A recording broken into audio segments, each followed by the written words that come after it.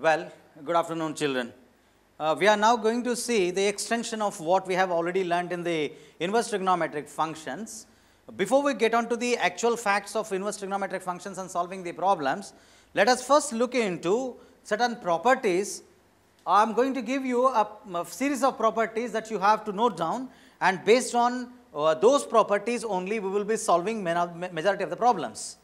Well, the first property of inverse trigonometric functions sine inverse x is equal to cosecant inverse 1 by x, cos inverse x is equal to secant inverse 1 by x, tan inverse x is equal to cot inverse 1 by x. Here these formulas can also be replicated as cosecant inverse x is equal to sine inverse 1 by x, secant inverse x is equal to cos inverse 1 by x, cot inverse x is equal to tan inverse 1 by x. Now, let us try first of all one problem and understand exactly how this problem, I mean these properties are true. Well, I will take the tan inverse x, let tan inverse x is equal to theta. Dear children, we know that tan inverse x is equal to theta, y we have taken? Because all inverse trigonometric functions are basically the angles. When they are the angles, so we have to represent in the form of theta. So, I have taken theta.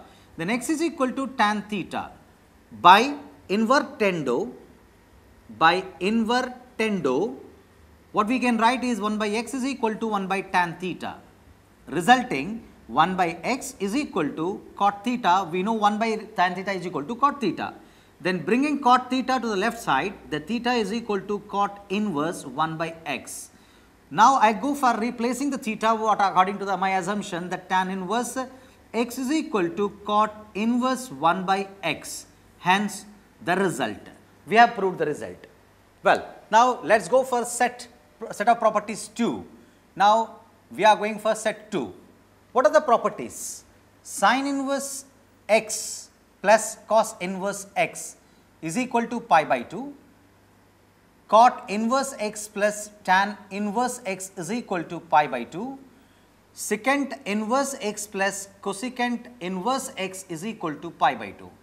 Well, dear children, we are now going to use, uh, we are going to prove one of them, the remaining leaving the remaining two for you as to as a homework.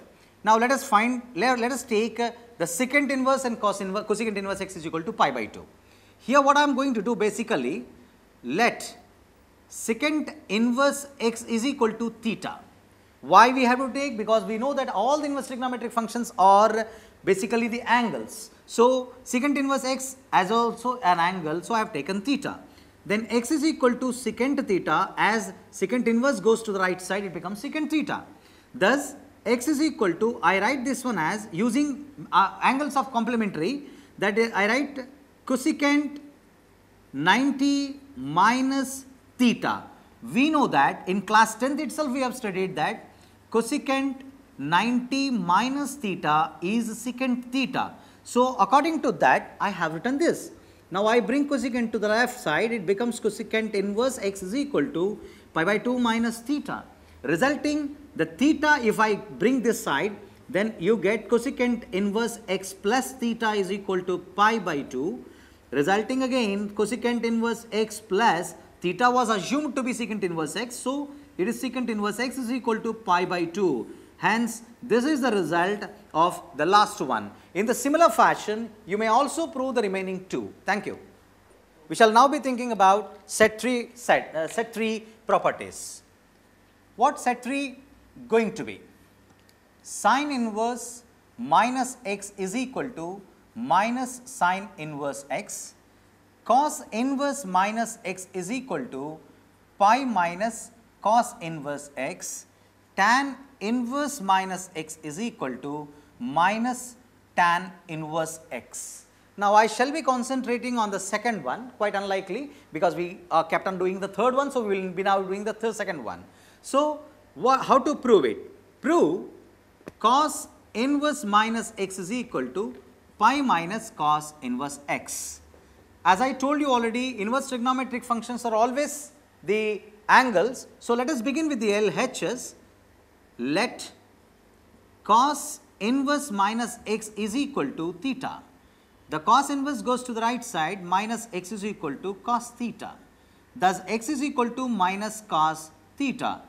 Cos is negative, uh, cos is negative in second quadrant and third quadrant.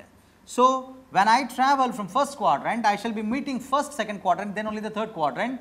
And in second quadrant, we have two allied angles. One is pi by 2 plus theta and pi minus pi minus theta. So, of the two, I find feasibility with the second one because pi will never bring the change in the cos function which I require to retain as it is. x is equal to minus cos pi minus theta is nothing but minus cos theta. So, I bring this to left side it becomes cos inverse x is equal to pi minus theta while theta was assumed to be cos inverse minus x. So, cos inverse x is equal to pi minus cos inverse minus x. Now, I go for a change of uh, um, uh, articles. So, I get here what cos inverse minus x is equal to pi minus cos inverse x. Hence, the result.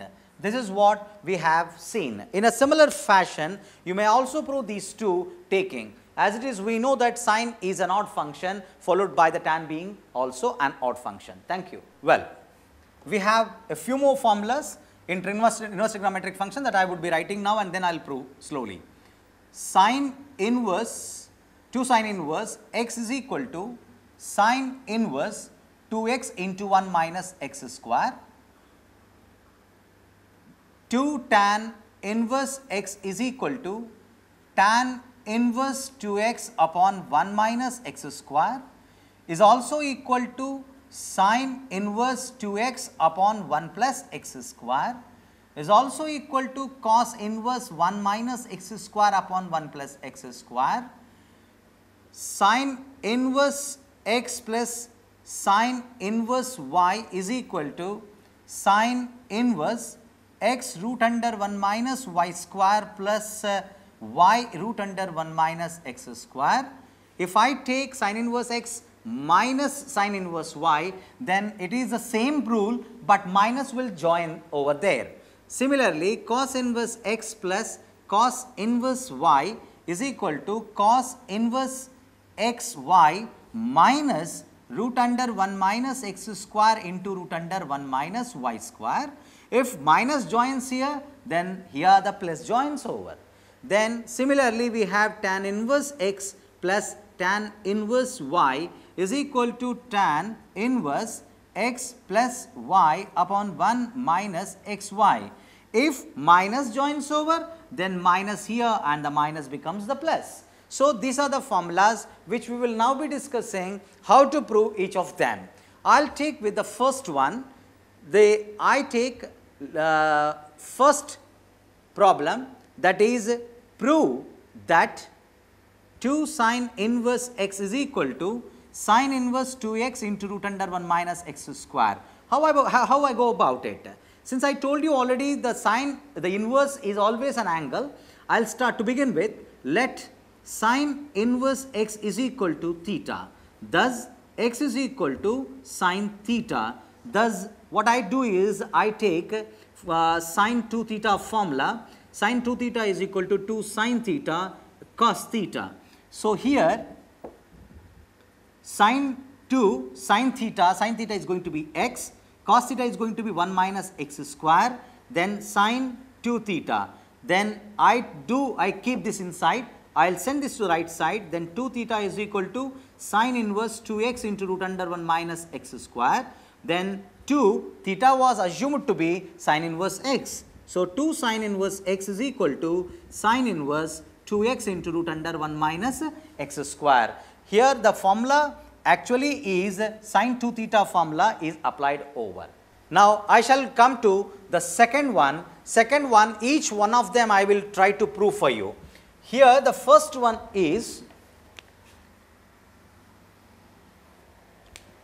the first one is 2 tan inverse x is equal to tan inverse 2x upon 1 minus x square. So, let let tan inverse x is equal to theta.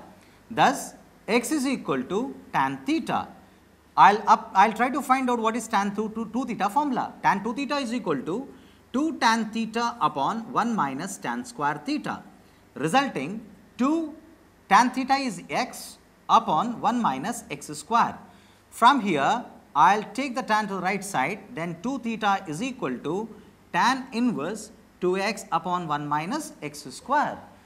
That is 2, theta is replaced with the assumption that is 2 tan inverse x is equal to tan inverse 2x upon 1 minus x square. This is the result of part 1 of the second question. Now, if I do the similar trick here for the sine inverse as well, you will get like let, let tan inverse x is equal to theta. Thus, x is equal to tan theta. Now, here we will see the right hand side. Right hand side is sine inverse 2x upon 1 plus x square. What I will do is that I will make the substitution of x being tan theta in this expression. What I will get is that sine inverse 2 tan theta upon 1 plus tan square theta. That is, you are going to get sine inverse 2 tan theta upon 1 plus tan square theta is secant square theta.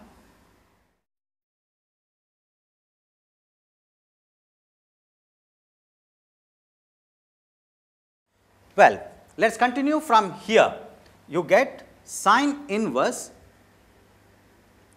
2 tan theta I will write as sine theta into secant theta upon here the secant square theta, secant square theta. The secant theta and secant theta is cancelled. You get sine inverse 2 sine theta upon secant theta. Secant theta is a reciprocal of cos theta. Since it is already in the reciprocal, you send it up.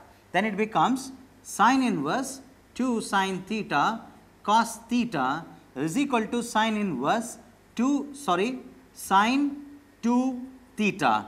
The sine inverse in sine is in the form of f inverse circle f of x is equal to x. As per that rule it is 2 theta, but theta was assumed to be tan theta according to the assumption 2 tan inverse x which is LHS. Similarly, in the same fashion for the last one you take in the similar pattern take right hand side that is cos inverse 1 minus x square upon 1 plus x square. Put x is equal to tan theta in this, you will get the same simplification and finally, instead of uh, uh, what is it called sine 2 theta, you will be getting cos 2 theta, getting cancellation and 2 tan inverse will be arriving at. Thank you.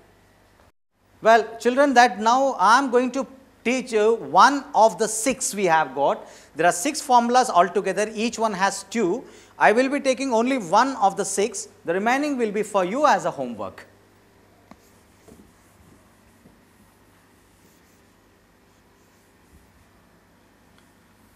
What is that I am going to show now? Sine inverse x plus sine inverse y.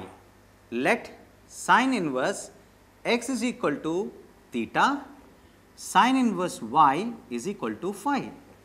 Thus, x is equal to sine theta and y is equal to sine phi.